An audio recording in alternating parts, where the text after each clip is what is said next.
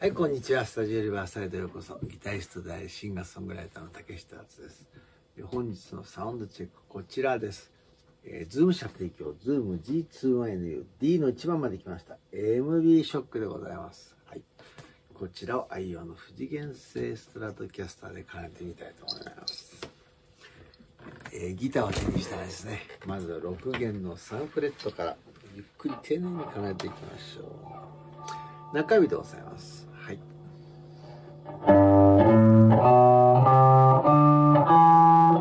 中指に入れ替えます。はい。なぜこうするかというとですね、2オクターブを、えー、全く同じにして奏でられるからです。いってみましょう。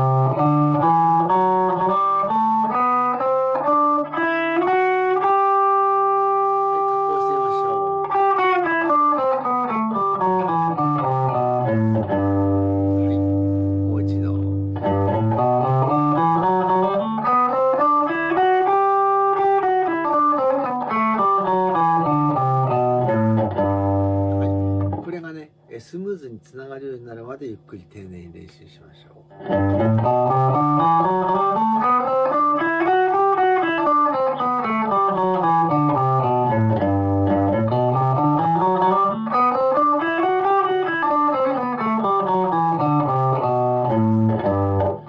はい、となります。はい、ちょっとグーパーグーパーでね、お休みして。で、ピックの持ち方なんですが非常に重要です。人差し指の上に軽く乗せてあげます。えそして親指で軽く包み込んであげます。ででピックの先端はですね、等ミリから8ミリぐらい出してよろしいかと思います。ここでピックをくるくるくるくるって回す練習をすると、ピックをギュッと持たないね、癖がつきます。しなやかさ重要ですよ。そして、えー、E マイナー、D、C、D この循環コードをクソ真面目に練習します。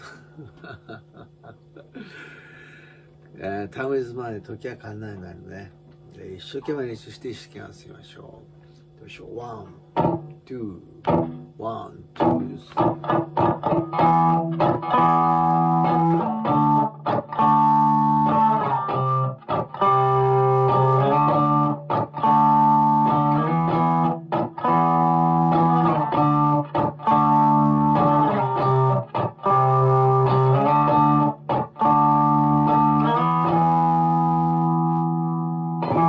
となります。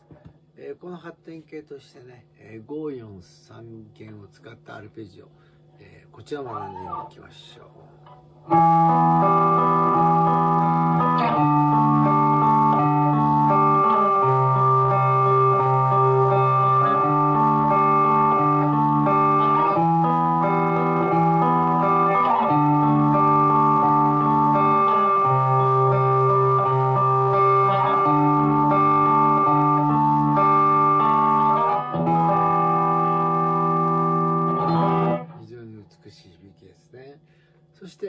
ルペジオ、えー、4、3、2弦を使ったアルペジオ、えー F メジャー、G、a マイナーの進行ですね。えー、行ってみましょう。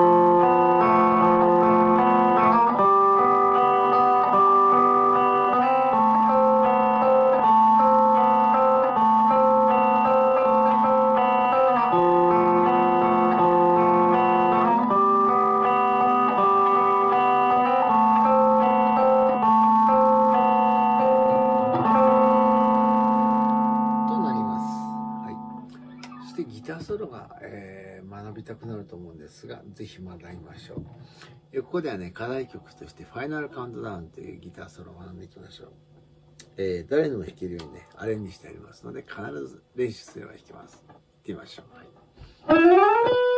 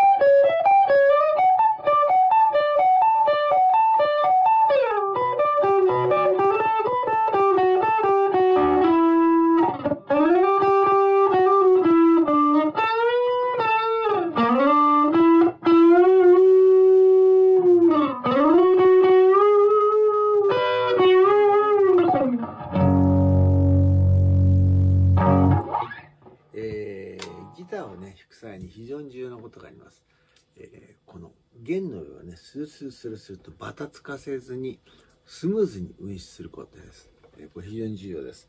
課題曲としてイングウェイ・マルムスティーンの広島のムールを簡単にしたもの、えーこちら行ってみましょう、はい、ゆっくり丁寧です。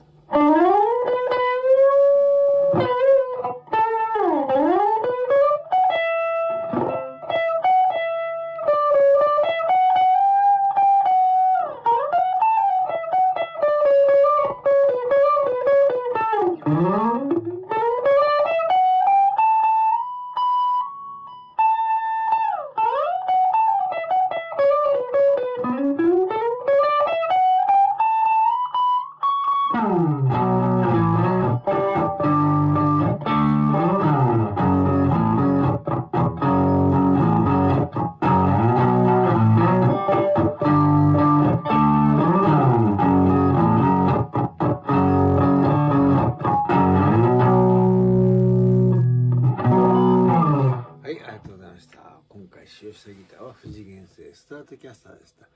1980年頃のモデルと思われます。似合うでしょう。というわけで、えー、現在私はですね、こちらのトップが出ます。えー横浜にございますシアミュージック横浜校でエレキギターとアコースギターね講師をさせていただいておりますありがとうございますえー、6月まだ若干の空きがございますで7月のですね予約が、えー多分こうなんかね、えー講師を選んでポチッとなってする画面があると思います、えー私をご指名くだされば光栄でございますしあなんとなく見かけがねなんかちょっとなんか目つきも悪いしなみたいな風に思われたら、えー他のね講師の方を選ばれても全然問題ございません。はい。シェアミュージックはねあの講師同士が非常にねあの仲がいいって言うとなんかねあれなんですけどあの講師同士のコミュニケーション非常にいいんですね。ねそれぞれの、あの講師を私リスペクトしております。誰一人として私嫌いな講師っていないんですよ。えなので、えー音楽にまつわることね全てシアミュージックにお任せくださいませ。それでは、えーギタリストであるシンガーソングライターの竹下敦がお送りいたしました。See you next time です。